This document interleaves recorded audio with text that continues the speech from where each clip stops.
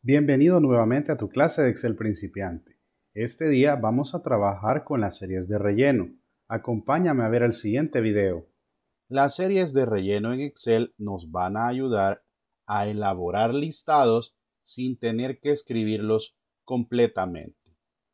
Para eso vamos a utilizar las celdas y los asistentes para ayudarnos a elaborar estos listados. Pero es importante que sepamos qué datos o qué información es la que vamos a poder utilizar en una serie. Por ejemplo, los datos numéricos son algunos datos de los que podemos utilizar para poder hacer series. Supongamos que se le solicita realizar un listado o una numeración del 1 al 10, por ejemplo. No vamos a estar escribiendo directamente a las celdas de Excel estos números.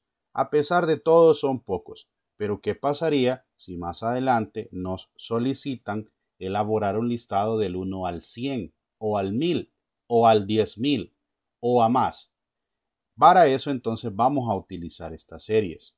Vamos a nombrar la primera serie como serie numérica. Vamos a colocar el primer elemento de la serie, que es el número 1, y vamos a suponer el ejemplo del listado del 1 al 10. En todo caso, no vamos a escribir los demás números. Lo podemos hacer de dos maneras diferentes. Podemos darle clic ya al valor o a la celda que hemos escrito. Nos vamos aquí en la esquina inferior de la celda, este cuadro verde que vemos en pantalla. Al pasar el cursor se nos convierte en un símbolo diferente al que hemos estado viendo le damos un clic izquierdo y arrastramos hacia la derecha. Puede ser hacia abajo, hacia arriba o hacia la izquierda. En este caso lo vamos a hacer hacia la derecha.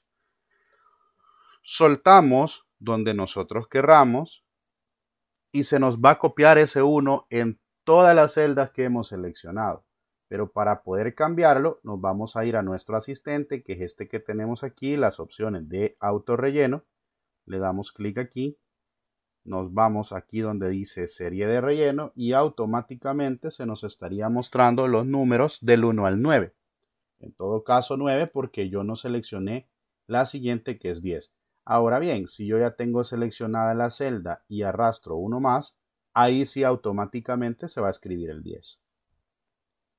Ahora voy a mostrarles otro método. Para poder elaborarlo de forma práctica y rápida, vamos a escribir dos elementos de nuestra lista arrastramos hacia la derecha y automáticamente en la parte inferior a la selección que estoy generando se va a mostrar un número previo que quiere decir que si yo suelto el mouse o el clic izquierdo que tengo presionado en esa celda se va a escribir hasta el número 10 si quiero hasta el 11 me paso a la siguiente celda o al 9 de la misma manera. Lo vamos a soltar en el 10 y automáticamente ya tenemos la serie numérica.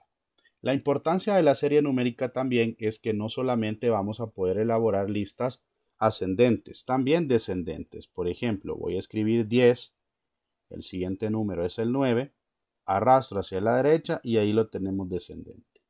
Aparte de ello, podemos hacer listados también de 1 en 1, de 2 en 2, de 3 en 3. En este caso lo voy a hacer para números impares, 1 y 3, y observen la lista solamente nos va a dar números impares.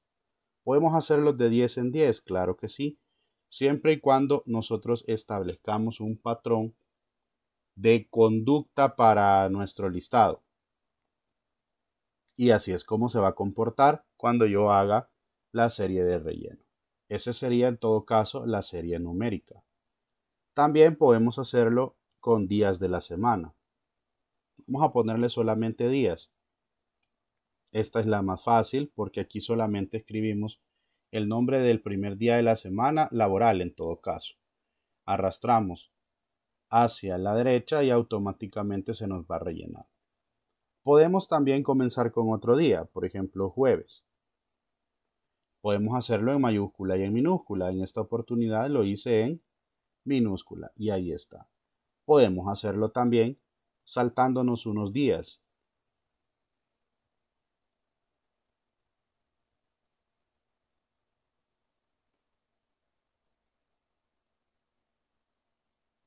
Como lo están viendo en pantalla.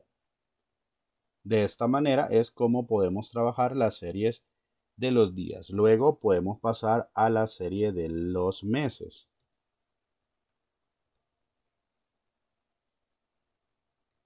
Basta con colocar el nombre del primer mes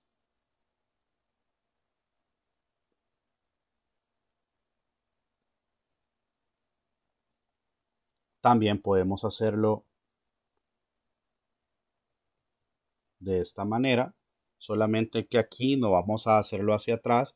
¿Por qué? Porque no he escrito un segundo elemento. Va a ir hacia adelante. En todo caso, si yo quisiera hacerlo hacia atrás, tendría que escribir como lo hice en la serie numérica. Dos elementos de listado para generar un patrón y automáticamente ahí sí se va a ir de atrás hacia adelante o descendente o ascendente. Y finalmente vamos a trabajar con las series de relleno de las horas.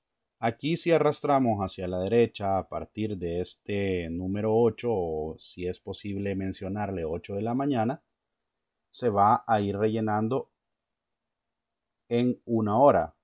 Pero por ejemplo, si yo quiero rellenar minutos, por ejemplo, vamos a poner 8.05 tomo dos elementos de la serie de relleno, arrastro y ahí sí va a ir de 5 minutos en 5 minutos. Agradezco tu atención prestada a esta clase. Recuerda que para poder trabajar con series de relleno es importante que escribas en un listado los dos elementos de esa lista para que puedas marcar un antecedente y un consecuente o también para que puedas marcar un patrón. Te invito a que me acompañes a la siguiente clase no te la pierdas.